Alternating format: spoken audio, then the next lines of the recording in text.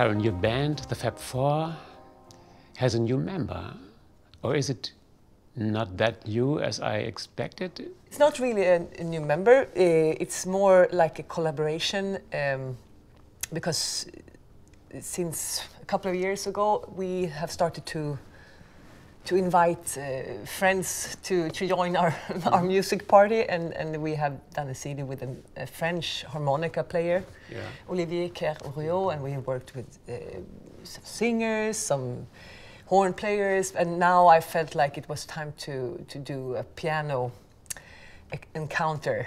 and I have always uh, listened a lot to Rita Marcotulli, and I always admired her playing.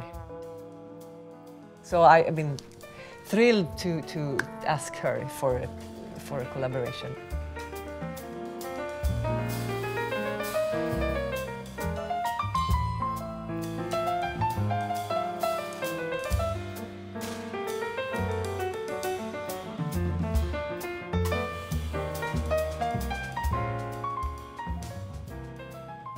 And there are some um, songs in your record. There's one um, the titled um, "Rest in Peace." Did someone leave to an upper upper room? No, it's it's uh, the, it's not the full title. In brackets, it's "Stay, uh, Rest in Peace and Stay Alive." So it's more of a way of uh, how to live. You have to rest to be alive. Oh, I mean, you have to take your, your rests uh, to, to be able to experience life. Uh, for me, who kind of have a tendency to run, I have to back a little bit to to let stuff happen, and that's about that's the song about. Okay, yeah, this is the sound of the song that comes over the spirit. It started out as a I was practicing my my daily routines. Yeah. I, I do a it's a book called uh, or a method called Max Schlossberg. He for both trumpets and trombone. And then there's this uh, a practice uh, exercise. Yeah, an exercise that starts like that. So it's, I actually stole yeah. the first note, but it's like it, that's how it happens sometimes when I write. I focus goes out when I'm practicing, and then it becomes a song instead. That's the way you write it. Sometimes, yeah. I- Not sitting there and thinking, I mean, sometimes, but it's most of the times that I, I just, I just uh, uh, find myself with a piece of melody. Um, and uh, yeah, and that's also why it's important to to rest in peace because otherwise the melodies can't come. Yep. Um, if you just, but that's more on my No, my, my life goal of not. Uh, if you rest, a lot of creati- creat- creativity comes And to be bored, that's my biggest problem. bored. to be bored. I mean, you take your phone and you take your you Oh. watch series. For this CD, I was actually deciding to take. No, I have to just sit here. I know it will come. Something will come, and we'll see. I don't have to judge what it is. But I wrote like the the beginning of the CD. During three days, like three full days, just sitting on the countryside, and and that was the only way to do it, to start get started.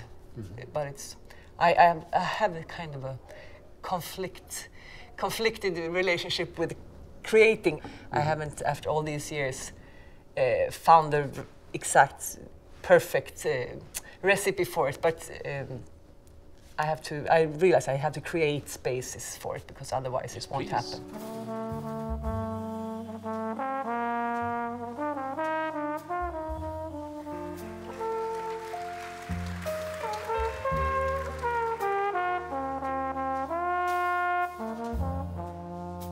The first time we met, this was in 2009 in a festival that I was doing then. So Nils put together this band, Respect, with um, ladies from all over Europe.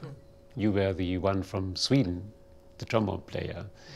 And uh, do you remember your feeling, the vibes of uh, this band that came, came over? Yeah, it was great. I mean, I had a lot of my friends there, uh, like close fr- friends, and I also. Uh, Nils asked, "Oh, who who should we have as a drummer?" And then I had been in Paris, hanging out, writing some music there, and and uh, meeting uh, Julie Saury, the Yeah. the drummer. So I I, I mentioned her, and, and she came along, and, and it was really f- fun. But I didn't, I did not know some of the girls before, but uh, now they are really close friends. It's super great initiative. And in the same year, you became um, member of the um, of the band here in, in, in Jazz Baltica. I was fortunate enough to come back uh, to work with the ensemble here at Jazz Baltica for was it ten years in a row? It was, It yes. was amazing, and I also uh, released some music on a German label, Skip Records.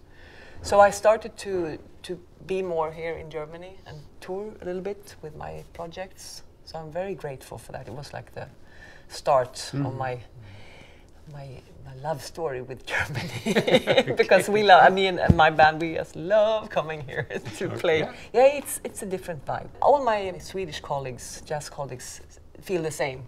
We all, yeah, we all love this, the German audience because it feels like you're so open and uh, so welcoming and also very. It's an open vibe towards culture overall, more open than in, for example, Sweden.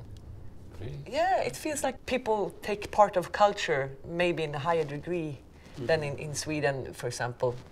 Like you go out, oh, it's an art ex- exhibition. No, it's a jazz concert. It's a classical, and then you don't know. Uh, maybe they don't. I mean, how could they know who I am? For example, I mean, yes, it's a, a trombone quart, trom, uh, jazz quartet with trombone. Yeah, let's go. I mean, people just use maybe more used to going, experiencing new stuff. I don't know.